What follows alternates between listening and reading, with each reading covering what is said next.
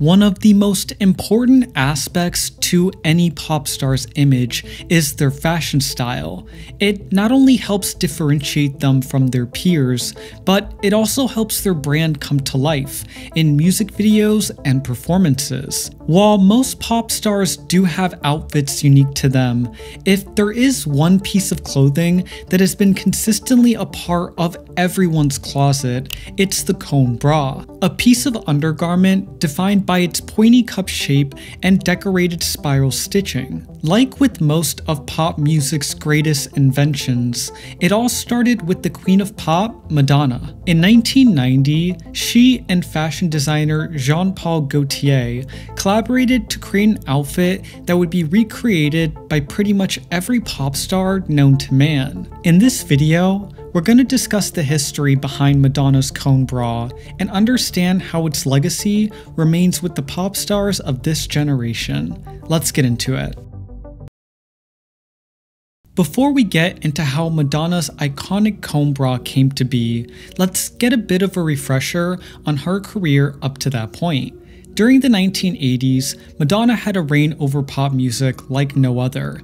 She was consistently churning out mega successful albums and pushing the boundaries of what could be said and shown in mainstream entertainment. One of her biggest controversies thus far was the release of her lead single Like a Prayer off her fourth studio album. The song was featured in a massive ad campaign for the company Pepsi. However, the day after the commercial was released, Madonna released the music video for Like a Prayer, which featured her dancing in front of burning crosses and kissing a black saint. The music video caused outrage amongst religious groups, and the backlash got so bad that it led to a direct call from the Vatican to boycott Pepsi and its subsidiaries. Pepsi ended up pulling the commercial down and canceled their plans to sponsor Madonna's upcoming tour.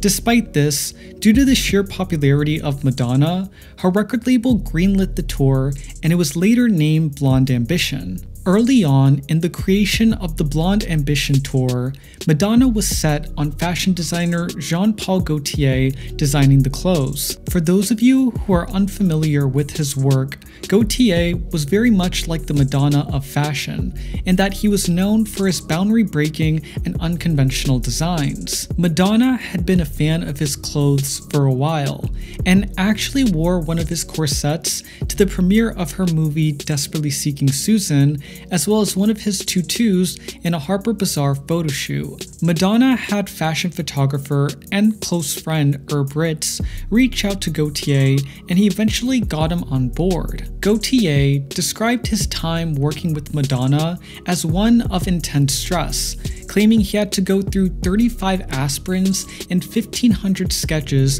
before Madonna was satisfied with his designs. Gaultier actually had experience making cone bras before ever working with Madonna. He first debuted an exaggerated version of the cone bra in his fall winter 1994 collection. His inspiration came from the 40s and 50s, as cone bras were a popular bra design amongst women due to famous actresses such as Marilyn Monroe, Lana Turner, and Jane Russell sporting the bras under tight sweaters. Madonna sporting the cone bra corset simply by itself, though, grabbed the public's attention in a way that none of her outfits had before. She gave the look so much depth, as the cone bra was typically associated with old fashioned femininity, but with Madonna's muscular body, the look also exuded authority and power.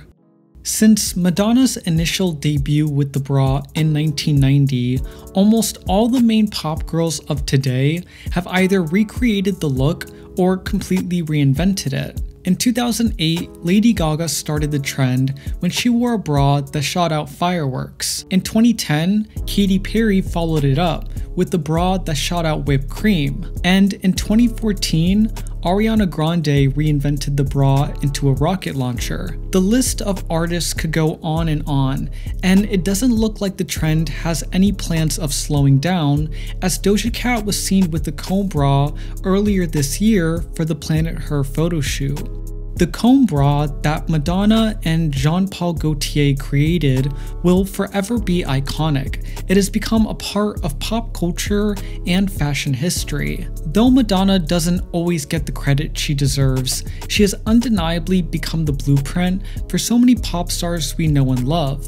Oh, and if you're wondering where Madonna's cone bra is today, it actually could be in your closet. Last week, Gaultier launched a runway rental service, unlocking the vault of his 30,000 piece archive, which includes the Cone bra. It's an interesting thing that a lot of fashion houses are starting to do due to the fast growing demand of vintage couture. Comment down below if you would be interested in renting the bra. Thank you so much for watching.